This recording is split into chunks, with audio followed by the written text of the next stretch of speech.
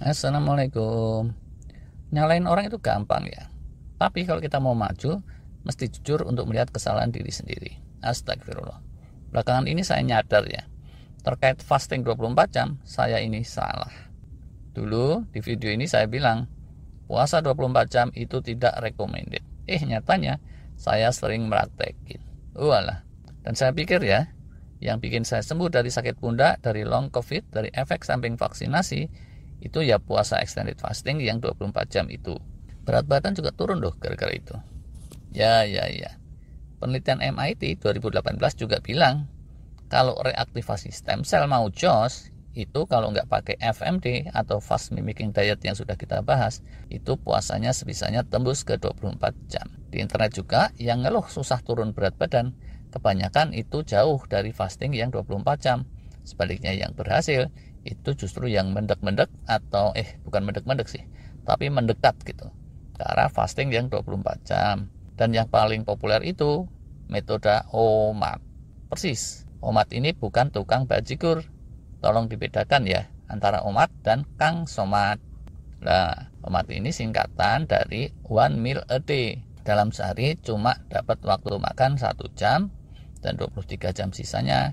Itu asupan kalori nol alias puasa ini berarti amat dekat ke puasa 24 jam. Nah, jadi kalau dibilang puasa 24 jam tidak recommended, bisa misleading ini, agak menyesatkan. Karena nanti orang-orang pada menjauh dari itu padahal harusnya mendekat. Kalau ingin ngejar healing dari chronic inflammation atau gejala diabetes atau penyakit degeneratif lain atau kalau mau ngejar turun berat badan, fasting paling jos itu yang dekat ke 24 jam dan bukannya jauh. Itu sih sedikit koreksi dan klarifikasi. Jadi gini, mendekat ke 24 jam itu bukan artinya mesti ngepasin 24 jam. Omat sejati itu 22 atau 23 jam saja. Dan bahkan belakangan ini ada yang bilang dan kasih rekomendasi kalau omat itu agak ekstrim. Kalau dipraktekin jangka panjang, efek buruknya omat apa itu belum diteliti tuntas, sehingga para ahli yang moderat memberi saran agar kita lebih hati-hati dan sebaiknya memilih fasting yang lebih rileks manusiawi, yang efeknya itu mirip dengan omat tadi. Yaitu selain pola FMD yang sudah kita bahas, bisa pakai pola tumat atau meal a day. Meal a day ini ya persis saja kayak puasa Daud atau puasa Senin Kemisnya orang-orang Muslim. Di hari puasa, Makanya dua kesempatan. Kalau yang muslim saat sahur satu jam sebelum subuh dan kedua saat buka puasa satu jam mulai maghrib. Kalau mau optimal kayak FMD, pas sahurnya itu minim kalori. Misalnya sahurnya cuma sayur kangkung semangkok kecil atau sup sayur dan kuah kaldu tanpa daging apa pun atau salad semangkok atau alpukat. Kalau peyem jangan. Colenak juga jangan.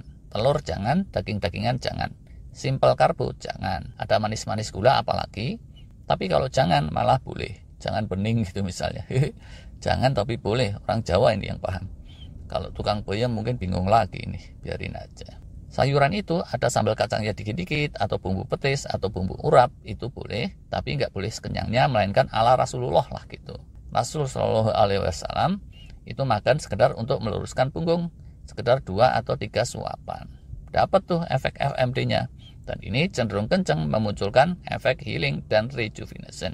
Bahkan yang puasa ala muslim itu dinernya tidak mesti sekali tok. Habis maghrib makan, nanti sekitaran jam 8 makan lagi itu tetap boleh. Jadi kosongnya cuma malam hari jam 9 kurang sampai dini hari jam 4-an, sekitar 7 jam, ditambah kosong siangnya 13 atau 14 jam. Total kosong cuma 20-an jam, lebih dikit kalau gaya Amerika atau gaya diet keto itu tumatnya lebih kenceng. Makan malam jam 6 sampai jam 7, terus dikosongin sekitar 16 jam. Setelah itu makan siang sekitaran 1 jam dan kosong lagi sekitar 6 jam jadi total kosongnya 22 jam. Kayak gitulah. Kalau untuk healing, rejuvenation dan longevity mendekatlah ke extended fasting yang 24 jam. Tapi jangan kelewatan overdosis. Bagi yang muslim, puasa itu mesti mengikuti syariat. Dan extended fasting dan prolong fasting berlebihan itu nggak boleh. Ada yang makruh ada yang haram. Tapi kalau buat yang non muslim ya silahkan diatur sendiri. Kalau nggak mau pusing udah aja niru yang muslim.